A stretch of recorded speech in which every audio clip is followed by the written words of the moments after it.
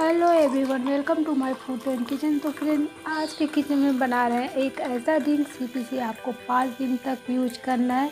इससे ज़्यादा यूज़ नहीं करना है। अगर आपका मोटापा थोड़ा बहुत है तो अगर आपका मोटापा थोड़ा ज़्यादा है तो आप इसे तीन से चार दिन और बढ़ा सकते हैं। तो चलिए एक ड्रिंक बनाते हैं और देखिए, बहुत ही कम इंग्रेडिएंट्स में बन के तैयार होने वाला है।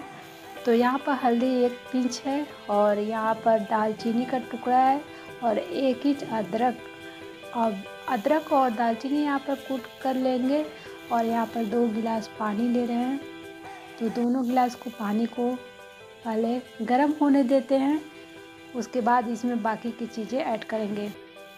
तो फ्रेंड, यहाँ पर पानी गर्म हो चुका है तो इसमें अब हम लोग हल्दी को ऐड कर लेंगे। और फ्रेंड वीडियो में बने रहिएगा लास्ट तक। आपको सिर्फ़ पाँच दिन इसको पीना है। तो यहाँ पर हम लोग ऐड कर देंगे अदरक और दालचीनी का कूटा हुआ। तो दालचीनी को आपको बहुत ज़्यादा नहीं कूटना है हल्का हल्का खड़ा ही रहना है। तो अब इसे हम लोग बॉयल करेंगे। तो बॉयल होने के लिए छोड़ देते हैं। इसे कम से कम 10 से 15 मिनट लगेगा बॉयल होने के लिए।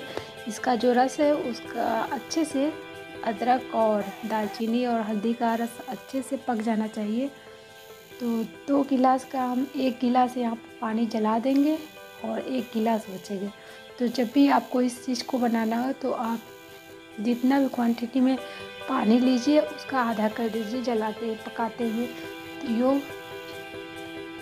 तो यूँ देखिए, जल के तैयार हो चुका है और ये देखिए, बन के तैयार हो गया। और इसे छान लेंगे और इसे चाय की तरह से गरम गरम ही पियेंगे। ठंडा करके नहीं पीना है।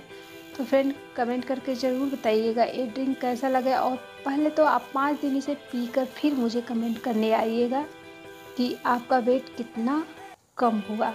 तो फ्रेंड ये मेरा प्रैक्टिकल खुद का किया हुआ है, आप इसे एक बार ज़रूर ट्राई कीजिएगा।